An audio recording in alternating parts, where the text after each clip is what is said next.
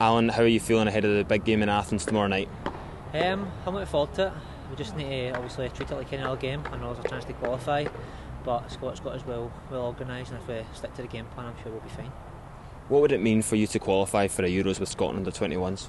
Oh, it'd be a great achievement for the whole for the whole bunch of the squad. Obviously, seeing the success of the A squad the other night, it's gave us that belief that we can go out and do it. But again, we kind of get too ahead of ourselves. There's a, a game coming up, and it's a tough game, so we need to be well prepared and focus and make sure we get the business done.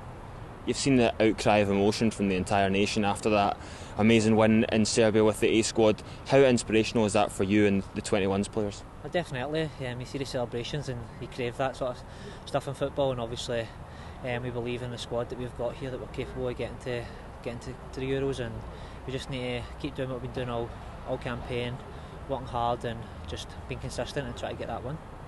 And we're here in Athens, as I said earlier, against a tough Greek side. And um, what did you make of them the last time you played against them? Um, obviously, they got the win and it was a bit disappointing, but I thought overall in the game we played well. Just a last minute penalty we conceded was a bit disappointing, but obviously we're here to, to get revenge and try and get that win and to take us through the Euros. But obviously, we need to treat them treat them with respect and make sure when the final whistle goes that we're the team um, in the lead.